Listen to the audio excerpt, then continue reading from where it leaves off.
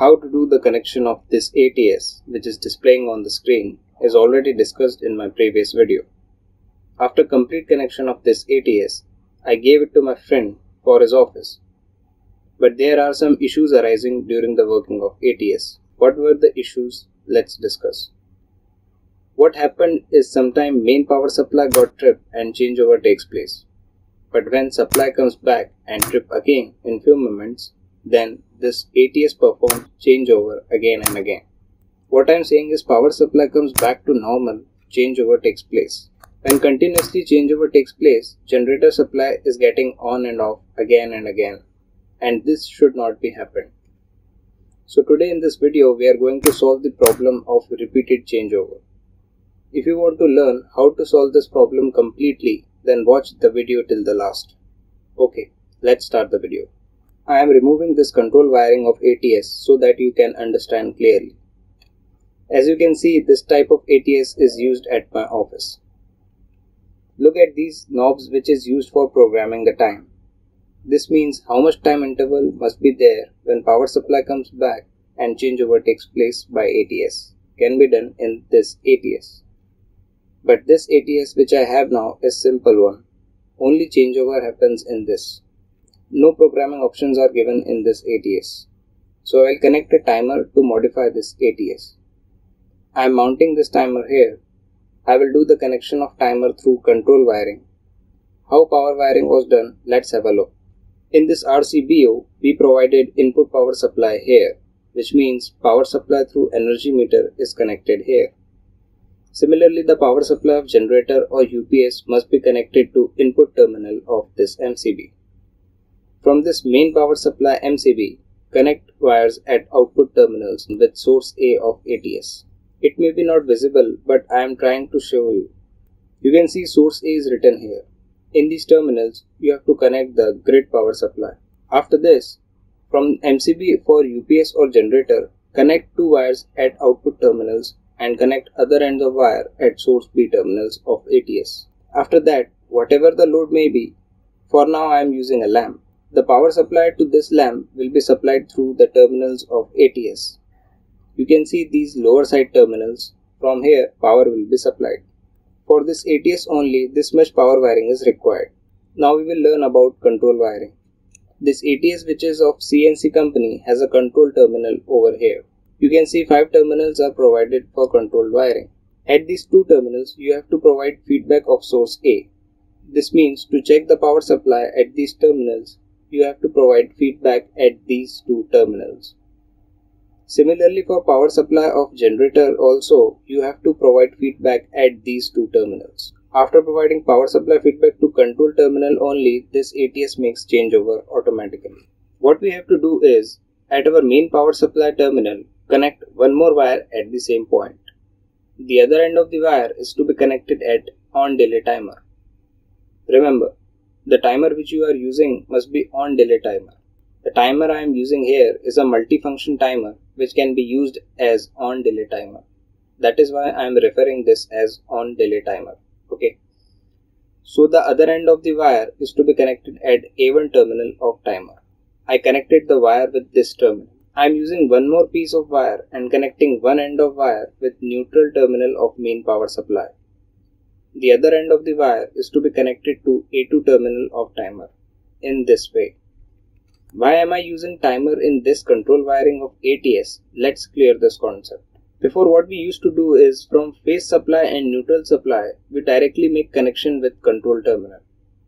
But now we introduce timer in between because when supply comes to these terminals, this timer will operate and after the program time only supply will go to control terminal. You will perfectly understand this concept at the last when wiring will be completed.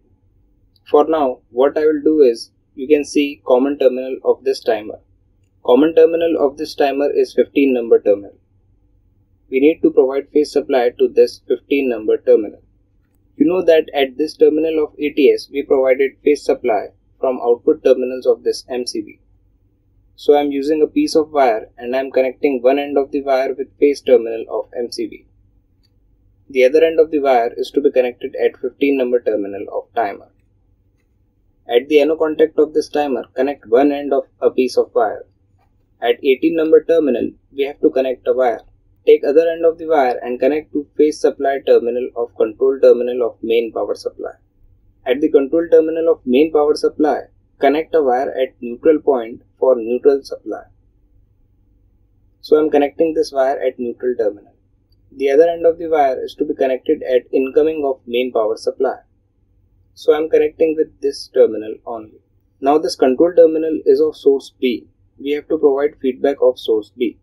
If you want for your source B, like generator or UPS, there is a time delay for changeover, you have to use one more timer. The way we did connection of this timer for source A, in the same way connection of timer with source B can be done. I don't want any delay time for generator. The moment at which main power supply trip, this changeover must take place and power is supplied to our home through generator. If you want this changeover directly, then what you have to do is connect a wire with phase terminal of source B. The other end of the wire is to be connected at phase terminal of control terminal of source B. You can see I connected this wire with this terminal. Okay. Connect one more wire with neutral point of source B and connect other end of the wire with neutral terminal of control terminal. We provided the feedback of phase supply and neutral supply at this control terminal. The control wiring of this ATS is now completed. Now at this ATS, I am changing the knob at source A. I selected at main power supply. Now if I turn on this main power supply MCB, this lamp will also turn on. You can see lamp is on now. On turning off MCB, lamp turns off. On turning on, lamp turns on. This generator MCB is at off position. Turn this on also. Both the power supply are at on condition and for now ATS is using source A power supply. If you look at the auto manual switch, it is selected at manual mode. In this condition, if main power supply fails, then you have to do the changeover manually. On again switching the position, lamp turns off.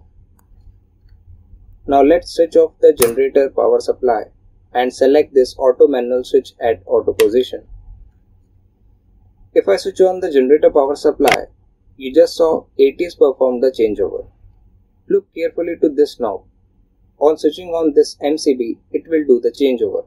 Look carefully. You just saw that how changeover takes place instantly. If your main power supply again fails, then this ATS will do the changeover.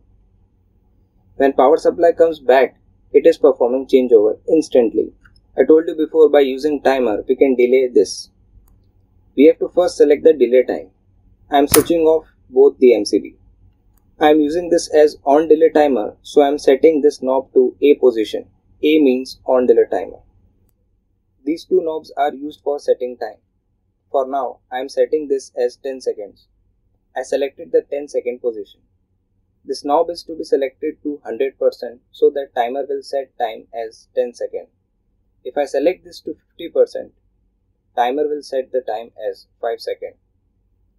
So I selected 100%. Okay. For now, both the power supply is at off position. This knob is selected at main power supply. I am switching on the generator power supply. You saw that changeover took place fastly. Now if I switch on the main power supply, you saw that changeover didn't take place. In my timer, this LED is blinking. You see it's blinking. Means countdown is started. On completion of countdown, automatically changeover is done by ATS. Point is when main power supply fails, changeover will take place instantly, but when main power supply comes back, this changeover will not take place instantly. It will wait to check whether your main supply is not failing again. If your main supply didn't fail again, then after the program time programmed in timer, this changeover will take place automatically. You saw that how changeover was done. So finally, I solved the problem with ATS by connecting a timer in between.